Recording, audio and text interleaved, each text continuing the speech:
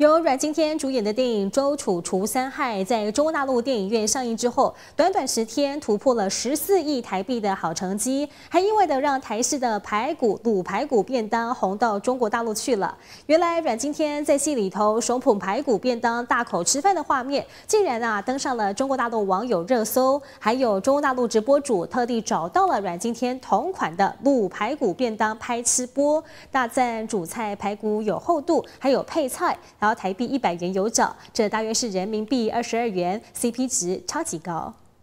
是怕死了都没人记得。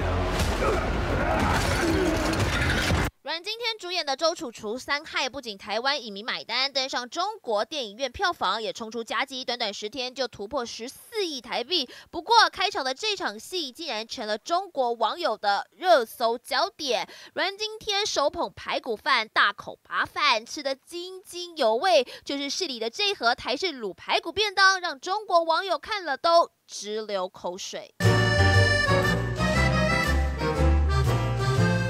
有中国直播主还特别找到戏中同款便当来拍吃播，大赞便当有三样配菜，主菜排骨，台币一百元有找，大约人民币二十二块，CP 值相当高。他就说，呃，请问那个小天吃的便当是不是你们家的便当？我说是天上掉下来的礼物，那也很感谢那个阮经天，他把我们的便当吃的这么好吃。